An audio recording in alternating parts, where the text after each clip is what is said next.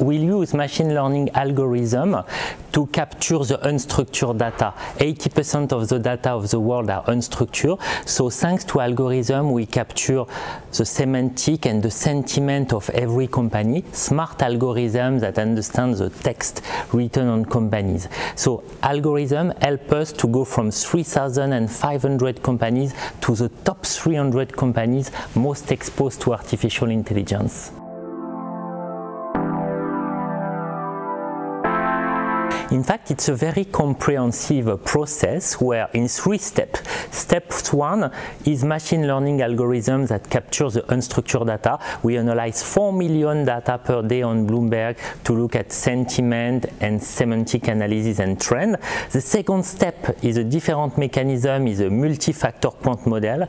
And the third step is a human review for every of the 60 companies in the portfolio.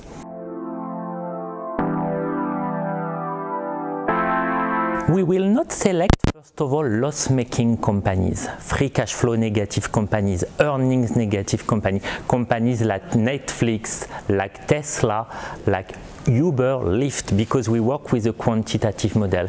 And we will work, we won't select also companies that do not derive enough economic value from AI.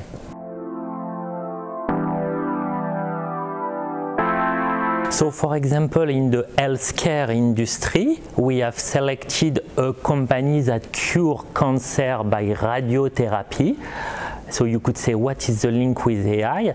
They use the million of data of the human body to analyze the capacity of the radiotherapy to be applied on the right part of the body. Then this company came through the filter of quant model and attractive growth and attractive valuation. And then we had human sanity check and we could buy this company that called Varian.